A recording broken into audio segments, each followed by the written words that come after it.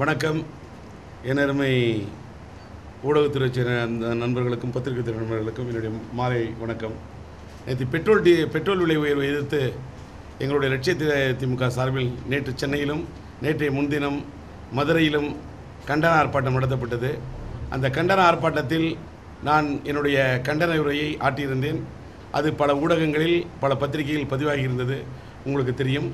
அதன் தொடர்பாக இன்றைக்கு இந்த புதுக்கோட்டை இடைத்தேர்தல் குறித்து எங்களுடைய லட்சிய திராவிட முன்னேற்ற கழகத்தின் ஒரு முடிவை தெரிவிப்பதற்காக இந்த பத்திரிகையாளர் சந்திப்பில் உங்களை சந்திப்பதில் நான் மகிழ்ச்சி அடைகின்றேன். மத்திய அரசு பெட்ரோல் விலையை ஒரே அடியாக உயர்த்தியது. ஒரே அடியாக ஏழு ரூபாய் ஐம்பது பைசா உயர்த்தியது. அதில் குறைத்தது என்னவென்றால் இரண்டு ரூபாய்.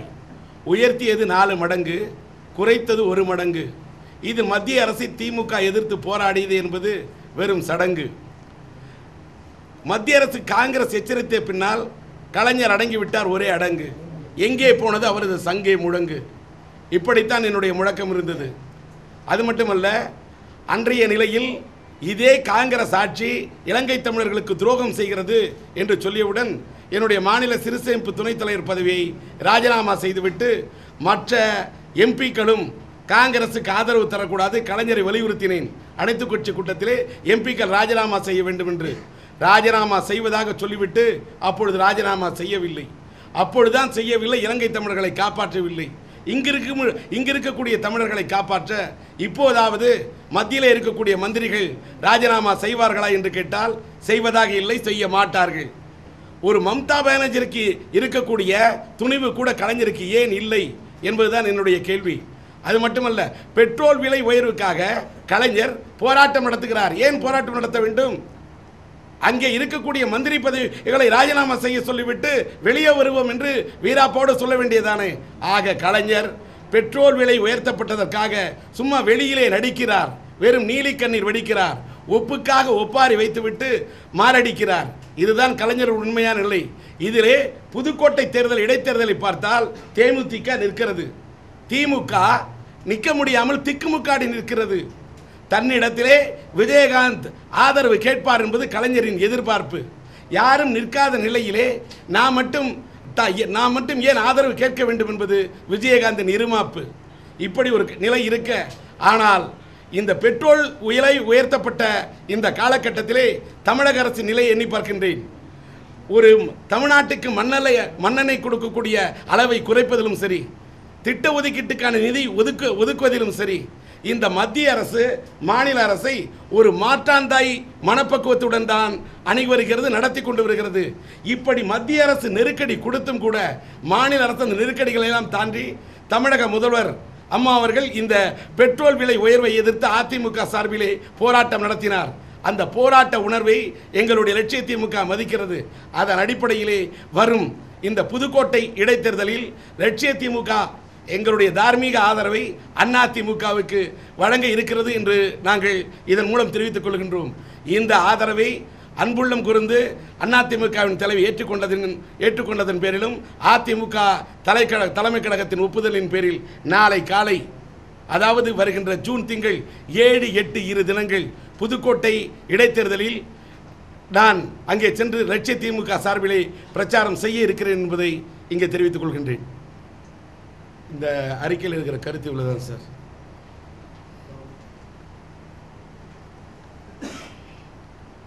என்ன சார் சொல்லிட்டேன். இது பைட்டு தேவையில்லாதெல்லாம் க்ளீனாக இல்லை பேசிட்டேன்.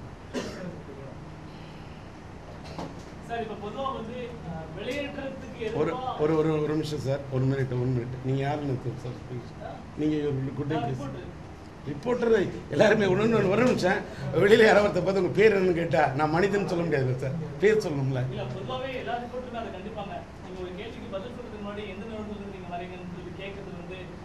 இல்ல உங்களோட நோக்கத்தை உங்களோட நோக்கத்தை தெரி நீங்கள் இல்லை என்னுடைய இல்லை இல்லை உள்ள உள்ள சார் நீங்கள் என்னோட நோக்கத்தை தெரிஞ்சுக்கிறது முன்னாடி நான் உங்களோட நோக்கத்தை தெரிஞ்சுக்கணும் ஆசைப்பட தப்பு இல்லை இல்ல கேள்வி இல்லை உங்களுடைய நீங்கள் எங்கே உங்களோட பேர் என்ன? நான் புதுசாக இருக்கீங்களா யாருன்னு தெரிஞ்சுக்கணும்னு ஆசைப்படுறேன் ஓகே என் பேர் வந்து ஆனந்த் குமார் நான் என்டிடிவி ஹிந்துவோட ரிப்போர்ட்டர் ஆ என்டிடிவி ஹிந்துவோட ரிப்போர்ட்டர் ரைட் சார் சந்தோஷம் சார் இது வரைக்கும் நான் சந்தி இது வரைக்கும் இருக்கக்கூடிய நண்பர்கள் பல பேர் சந்திக்கக்குள்ள ஒரு அறிமுகத்தின் காரணமாக ஆ அதுதான் நான் எப்பயுமே கேட்டு தெரிஞ்சுக்கிறது ஆ.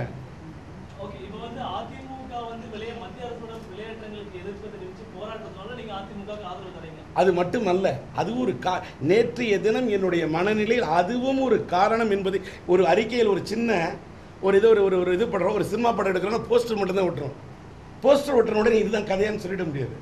ஏன்னா நாளைக்கு பிரச்சாரம் இருக்கு. Tomorrow I can give my explanation apart from that if you want any other explanation I can give not only for the reason this only reason இதுதான் ஒன் அண்ட் ஒன்லி ரீசன் சொல்ல this is also only reason ah.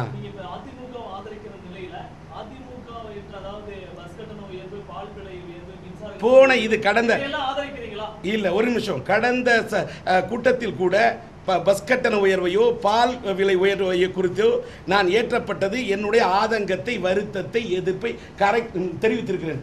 அதில் எந்த மாறுபட்ட கருத்துமே இல்லை.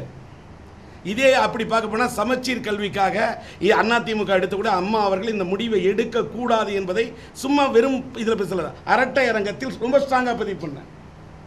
அதெல்லாம் நான் இப்போ நான் என்ன என்ன என்னுடைய என்னோட ஃபீலிங் என்னென்னா இந்த காலகட்டத்தில் இதே மத்திய அரசு ஒரு டூ ஜி ஸ்பெக்ட்ரம் ஊழலாக இருக்கட்டும் இன்றைக்கி நிலக்கரி பெற ஊழலாக இருக்கட்டும் இவ்வளவு ஊழல்லாம் புரி- புரிந்த ஒரு திமுக அரசுக்கு இவங்களுடைய அரசுக்கு சாதகமாக இருந்த திமுக அரசுக்கு கொடுத்த நிதி ஒதுக்கீடை இவங்களோட அரசுக்கு மட்டும் ஆட்சிக்கு மட்டும் ஏன் கொடுக்கல? ஒருவேளை இந்த நிதி ஒதுக்கீடெல்லாம் கொடுக்கப்பட்டிருந்தால் பால் விலை உயர்த்தப்பட்டிருக்காது பஸ் கட்டணம் உயர்த்தப்பட்டிருக்காது என்பது என்னுடைய என்னுடைய என்னுடைய வாதமாக இருக்கலாம். It's my angle it may be right or it may be wrong but என்னுடைய ஆங்கிள் நான் கருதுறேன். இந்த இல்லை நான் நான் கிளீனாக சொல்லியிருந்தேன் இந்த இடைத்தேர்தலில் அதுவும் இப்போ இருக்கிற காலகட்டத்தில் எனக்கு என்னன்னா மம்தா பானர்ஜி அவர்களை பார்க்கிறேன். அந்த அம்மா வந்து மக்களுடைய நலனுக்காக போராடுறது மாதிரி இன்னைக்கு தப்போ ரைட்டோ சார் இதுவே திமுக ஆட்சியில் இருக்கும்போது இதே திமுக ஆட்சியில் இருக்கும்போது கலைஞர் இந்த அளவுக்கு நெஞ்சை நிமிர்த்தி ஒரு மத்திய அரசிடம் இருந்து அவருடைய இதெல்லாம் மீறி இன்னைக்கு வந்து அவர் வந்து ஒரு போராட்டம் நடத்தியிருப்பாரா என்பது கேள்விக்குறி. ஆனால் இந்த அம்மா இவ்வளவு நெருக்கடி இருந்தாலும் கூட இன்னைக்கு பெட்ரோல் விலை உயர்த்தப்பட்டவுடன் இந்த விலை உயர்வை கண்டித்து நான் போராடுகிறேன் என்று இந்த அம்மா போராடுறாங்க என்ற அந்த துணிவு. அந்த துணிவு எனக்கு அந்த துணிவை நான் பார்க்குறேன். அந்த துணிவை பார்க்கலாம் நான் வந்து அது இன்னைக்கு இருக்கக்கூடிய அந்த இந்த இதில் சொல்கிறேன்னா உதாரணத்துக்கு சங்கரன் கோயில் இடைத்தேர்தல் நடந்தப்போ நான் அந்த இடைத்தேர்தலுக்கு போவே இல்லை. பட் ஆனால் நான் வந்து அங்கே ஒரு பேட்டி கொடுத்தேன். நான் வந்து ஸ்ரீவில்லிபுத்தூரில் அரட்டையரங்கத்துக்கு போயிருந்தேன். அங்கே பத்திரிகையாளர்கள் சந்தித்தாங்க இந்த மின் தட்டுப்பாடு இருக்கு இதுக்கு காரணம் என்ன? இந்த மின் தட்டுப்பாடுக்கு கடந்த ஆட்சியும் ஒரு காரணம்.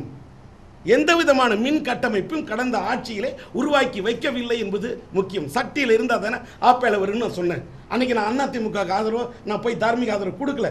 ஏன்னு கேட்டால் அன்னைக்கு திராவிட முன்னேற்ற கழகம் போட்டியில் தேர்தலில் போட்டியிட்டது இன்னொரு பக்கம் பார்த்தீங்கன்னாக்கா மறுமலர்ச்சி திராவிட முன்னேற்ற கழகம் போட்டியிட்டது. திமுக போட்டியிட்டது. எல்லாரும் போட்டியிடுறாங்க. எல்லாரும் போய் அவங்களோட கோ எண்ணங்கள்லாம் சொல்லிட்டு இருக்காங்க. ஆனால் இன்னைக்கு பாருங்க என்ன காரணமோ தெரியல. சங்கரன் கோயில் தேர்தலுக்கு பிறகு திமுக டெபாசிட் காலியானதற்காகவா? இல்லை மறுமத்து மறுமலர்ச்சி திமுக டெபாசிட் காலியானதா? இல்லை வந்து தேமுதிக காலியானதா? எந்த அடிப்படையில் திமுக அங்கே தேர்தலில் நிற்கல ஆனால் கலைஞர் என்ன சொல்கிறாரு என்னிடம் ஆதரவு கேட்டால் தருவேன்னு சொன்னார். நான் வந்து புதுக்கோட்டை எலெக்ஷனுக்கு முடிவு பண்ணிட்டு நான் நான் வந்து தேர்தலுக்கு ஆதரவு கு- கொடுக்கணும்னு கலைஞர்கிட்ட போய் நான் நிற்க விரும்பலை. அதுதான் நாங்கள் கூட்டம் போட்டு நான் முடிவு எடுத்தேன். ஏன்னு கேட்டாக்கா எப்போ இலங்கை தமிழர்களுடைய பிரச்சனையில் கலைஞர் காங்கிரஸோடு கை கொடுத்துருக்காரோ அவரோட உறவு ஒட்டும் வேணாம் உறவும் வேணாம்னு பார்லிமெண்ட் தேர்தல் பக்கம் போகல சட்டமன்ற தேர்தல் பக்கம் போகல உள்ளாட்சித்துறை தேர்தல் பக்கம் போகல இடைத்தேர்தலில் போகல. இப்போ இந்த புதுக்கோட்டை தேர்தலில் போய் இந்த தேர்தலில் போய் நின்றுட்டு நீங்கள் உடனே ப்ரெஸ்ஸில் உடனே உட்காந்துட்டு கலைஞர் ஆதரவு கேட்குற கேட்டால் தருவேன் என்று சொல்லியிருக்காரு. நீங்கள் போய் ஆதரவை கேட்பீர்களா? கேட்க மாட்டீர்களா? இதெல்லாம் பிரச்சனை. வேணாம். நான் நிற்கல நாங்கள் நிற்கலன்னு முடிவு எடுத்துட்டோம். ஆனால் பொது வேட்பாளர் நிறுத்திருக்கலாம்ல இவங்க யாரும்? நிறுத்தலை. அதே நேரத்தில் இங்கே ஒருத்தங்க கேட்குறாங்க நீங்கள் ஒருவேளை கேப்டன் வந்து உங்களிடத்தில் ஆதரவு கேட்டால் ஆதரவு நீங்கள் கொடுப்பீர்களான்னு கேட்டாங்க. ஏன் ஏன் இந்த மாதிரிலாம் அத்தைக்கு மீசை முளைத்த மாதிரிலாம் கேட்குறீங்கன்னு அன்னைக்கு கேட்டேன். நான் நீ கேட்குறேன் என் இடத்தில் ஆதரவு கேட்டால் கேட்பவர்களை பொறுத்தது என்று கலைஞர் சொல்லி இத்தனை நாட்கள் ஆகிறது. நான் மூணாம் தேதி வரைக்கும் ரொம்ப சைலண்டாக இருந்தேன். இது வரைக்கும் விஜயகாந்த் வந்து கலைஞரிடம் ஆதரவு கேட்கவே இல்லை. நானும் ஒரு முன்னாள் திராவிட முன்னேற்ற கழகத்தின் கொள்கை பிறப்பு செயலாளர். திமுக தொண்டர்களின் நிலை அங்கே என்ன? திமுகவின் நிலைப்பாடு என்ன? ஏன் திமுக? திமுக ஏன் சார் புதுக்கோட்டை தேர்தலில் நிற்கவில்லை? கலைஞரை பார்த்து நான் கேட்கக்கூடிய தார்மீகமான கேள்வி. நான் முன்னாள் சட்டமன்ற உறுப்பினர் திமுகவின் முன்னாள் சட்டமன்ற உறுப்பினர் முன்னாள் கொள்கை பரப்பு செயலாளர். திமுகவின் முன்னாள் கொள்கை பிரச்சார பீரங்கி. கலைஞருக்கு பல கட்டத்தில் எம்ஜிஆர் காலகட்டத்திலும் சரி இன்னைக்கு இருக்கக்கூடிய முதல்வர் அந்த அம்மாவுடைய காலகட்டத்திலும் சரி ஏன் மறுமலர்ச்சி திமுக தலைவர் வைகோ பிரிந்த காலகட்டத்திலும் சரி ஏன் இப்போ தோத்துப்பட்டார் அதுக்கு முன்னாடி உள்ள சட்டமன்ற தேர்தலிலும் சரி கலைஞருக்கு பக்கபலமாக இருந்து குரல் கொடுத்த நான் கேட்கிறேன். கலைஞரின் வெற்றியிலே பல கஷ்ட கட்ட கட்டங்களில் கை கொடுத்த நான் கூட கேட்கிறேன். ஐந்து முறை முதல்வராக இந்த நாட்டுக்கு ஆண்ட முதலமைச்சர் கலைஞர். இத்தனை ஆண்டு பாரம்பரியமிக்க உள்ள திராவிட முன்னேற்ற கழகம். புதுக்கோட்டை தேர்தலில் நிற்க ஏன் காட்டுகிறது தயக்கம்? அப்படி என்ன அது ஒரு இயக்கம் அப்ப தே- தேர்தலில் வெற்றி பெற்றால் மட்டும்தான் தேர்தலில் நிற்பேன் என்று சொல்வதுதான் திமுகவின் லட்சியமா? நான் கேட்கிறேன். அப்படி என்றால் ஒருவேளை தே- ஒருவேளை தேர்தல் கமிஷன் மீது மீது உள்ள குற்றச்சாட்டை இவர் சொல்லுகிறாரே. திருமங்கலம் தேர்தலில் ஒரு ஃபார்முலாவை உற்பத்தி செய்தது யார்? That formula was created by DMK யாராவது அது மறுக்க முடியுமா?